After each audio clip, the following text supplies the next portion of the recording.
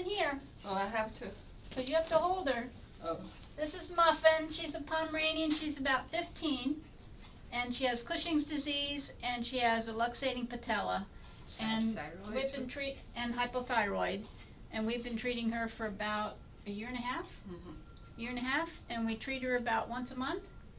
Yes, Yes, and she does really well with her acupuncture. And I'm gonna show you what we do with her since, uh, we haven't done this treatment on other dogs before in our case studies. Why don't you put her front feet down, stay here. cause I don't want her standing on her back leg. So we're gonna treat right around the knee for her luxating patella. That was gallbladder thirty-three, bladder forty.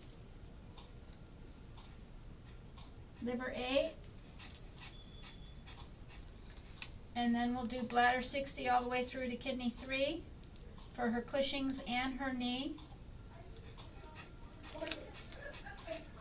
And then we'll do a proximal point, gallbladder twenty-nine.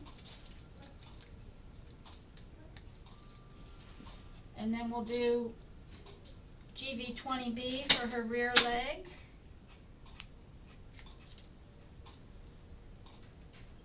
GB four, GB three for her Cushing's, bladder twenty-three, also for her rear leg and Cushing's.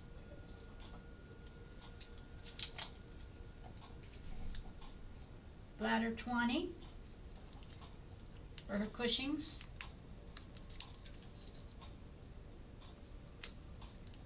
and bladder 18 for her Cushing's.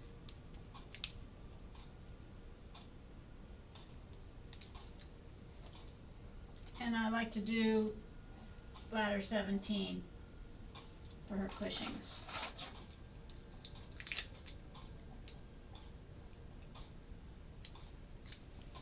And we just did a blood panel on her because we did a dental on her a week ago and her blood work is beautiful. She does, we've got her on flaxseed with lignans and melatonin for her Cushing's and Soloxine for her thyroid. And um, at 15, she has no kidney disease, no liver problems, and everything is doing fabulous. So um, she's doing really good on natural therapy. Now you can hit the red button.